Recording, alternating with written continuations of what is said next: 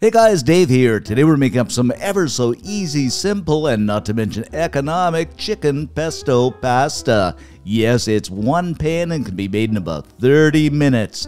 Great midweek meal, so let me show you how to do this. We're going to start off here with about 2 cups of bow tie noodles and we're going to cook these in boiling water for about 10 to 12 minutes. Now I'm using bow tie noodles, you don't have to, you can use any kind of noodles you want, I just thought these were kind of fancy. After they're all cooked and strained, I add about a tablespoon of olive oil and give them a stir to stop that stick togetherness that pasta always does. Next up, what you want to do is get a pan heated up over medium-high heat and add in a tablespoon of olive oil. Then in with two boneless skinless chicken breasts that I've cut into bite-sized chunks. Now I'm using boneless skinless, but you know, you can use whatever cut of chicken you like. Season them up with two or three pinches of salt, and in my pinchometer, that's about a teaspoon or so. About the same amount of ground black pepper, I mean, you be the boss. A teaspoon or two of Italian seasoning that I use on everything and love so much. Then for that extra little oomph and heat, about half a teaspoon of hot pepper flakes. It's entirely up to you how hot you want it, but I find half a teaspoon is great. Give everything a quick stir until that seasoning completely covers the chicken. And if you watched any of my videos, guys, you know this is usually the time where I begin to say this is starting to smell so good, and indeed it is. And of course, as the chicken cooks, you want to give it that flip and flop and that extra little bit of TLC just to make sure it's happy and cooked well.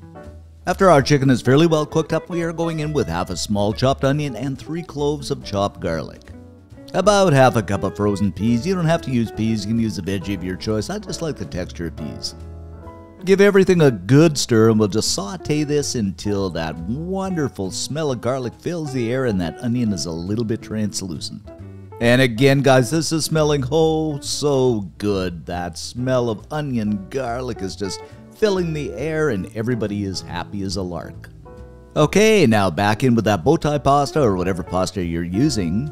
The star of the show, have a cup of basil pesto. Mm-mm. You can make this from scratch, but yeah, I just find it easier to buy it. Grab up about three or four sun-dried tomatoes. Of course, give them a chop. And just go ahead and add these guys in. I just love sun-dried tomatoes.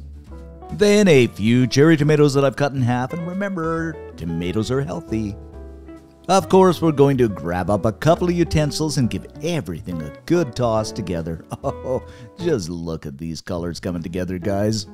Plate our ever so delicious chicken pesto pasta up. Say that fast, chicken pesto pasta. Chicken, uh, that's hard.